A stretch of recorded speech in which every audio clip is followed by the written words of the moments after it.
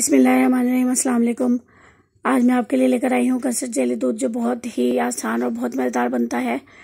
तो उससे पहले हमारे चैनल को सब्सक्राइब करें, लाइक करें और बेल आइकन के बटन को दोबारा मत भूलिएगा, ताकि आने वाले तमाम वीडियोस हमारे, हमारी आप तक आसानी से पहुँच जाए। जेली कस्टर्ड दूध की तैयारी करते हैं, लेकिन इससे पहले माजरत के साथ कि मेरा गला बहुत ख़राब है और ये तकरीबन वीडियो चार पाँच दिन से बनी पड़ी है और उसको एडिट करना मुश्किल लग रहा था। आज कुछ गला ठीक हुआ है तो मैंने सोचा कि इसकी वॉइस ओवर कर देती हूँ। तो यहाँ पे मैंने एक किलो दूध लिया है, उसको बॉईल करने के लिए रख दिया है। और इतने दूध में बॉयल आता है, यहाँ पे हमने लिए हैं तुख मलंगे दो चम्मच और उसके बाद एक गिलास पानी में भिगोने के लिए रख देंगे। यहाँ पे देखें तुख मलंगा हमारा तैयार हो गया है। और दूध में भी बॉयल आ चुका है, इसको हम थोड़ा सा और पकाएँगे।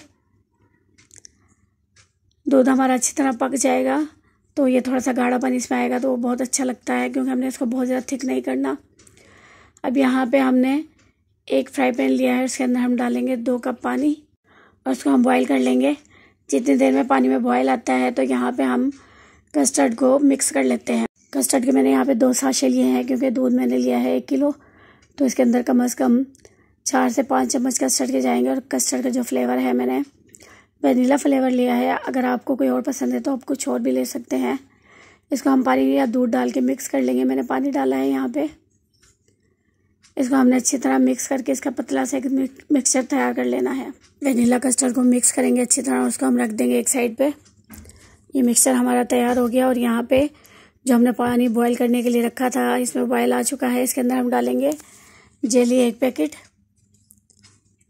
तो यहाँ पे जैसे बॉयल आया तो हमने इसका जो चूल्हा है वो बंद कर दिया है, उसको बस मिक्स करना है। कि चीनी जैसे इसकी मिक्स होगी, इसको हमने अच्छी तरह मिक्स करके इसको एक बाउल में डालेंगे ठंडा करने के लिए। ये देखें, ये मिक्स हो गया है बहुत अच्छी तरह से और इसको हमने बाउल में डाल के ठंडा करने के लिए रूम टेम्परेचर पे रख देना है। और इसी तरह से मैंने रेड कलर की जेली भी तैयार की है, इसको भी मैं ठंडा करने के लिए रख दूँगी। तो ये बहुत मज़े का बनता है जो बच्चे दूध नहीं पीते और जे, जेली खाते हैं शौक़ से या कस्टर्ड खाते हैं तो वो बहुत शौक़ से इसको पी लेते हैं। दूध हमारा यहाँ पकना शुरू हो गया था। अब इसके अंदर मैं डालूँगी कस्टर्ड का मिक्सचर और इसको हम चम्मच से चलाते रहेंगे और डालते रहेंगे।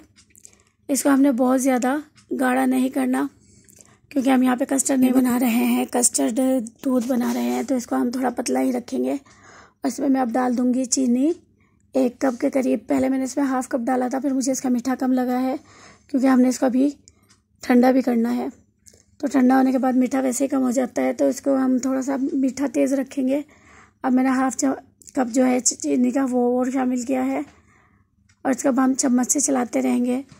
और एक आपको टिप देती हूँ कि जिस वक्त हम कस्टर्ड बना रहे होते हैं तो उसको लकड़ी की चम्मच से चलाते हैं तो कस्टर्ड हमारा बहुत जल्दी ठीक हो जाता है और बहुत मज़े का भी बनता है। तो ये टिप आप लास्ट में ट्राई कीजिएगा। कस्टर्ड हमारा बन गया, उसको ठंडा करने के बाद मैंने एक बाउल में निकाल लिया है। लेकिन उससे पहले मैंने इसको तीन घंटे फ्रिज में भी रखा था। फ्रिज में हमने इतना रखना है कि ये जमे नहीं, बस ठंडा हो जाए अच्छा सा छिल होना चाहिए। अब इसके अंदर मैं डालूँगी तुख मलंगा जो मैंने भिगो के रखा हुआ था। तो मलंगा को रखे हुए टाइम ज़्यादा हो जाता है तो इसकी ऐसी शक्ल आ जाती है, लेकिन टेंशन की कोई बात नहीं है। इसको हम अच्छे से मिक्स करेंगे तो ये दाने अलहदा हो जाते हैं। जेली हमारी जम गई है। जेली को जमने के बाद मैंने फ्रिज में रख दिया था। ये भी ठंडी हो चुकी है, अब हम इसके कटिंग कर लेंगे। तो आप अपनी मर्ज़ी से छोटे, मोटे, बारीक जैसे भी इसके पीसेस करना चाहे कर सकते हैं, क्योंकि ये दूध में डलने के बाद बहुत मज़े का इसका जो शक्ल भी लगती है और फ्लेवर भी बहुत यम्मी लगता है। अब इसको हम शामिल कर देंगे दूध के अंदर, जो कस्टर्ड दूध हमने बना के रखा है। सारी जेली हम इसके अंदर शामिल कर देंगे। और इसी तरह से जो हमने ग्रीन कलर की जेली बनाई थी, वो भी इसके अंदर शामिल कर देंगे।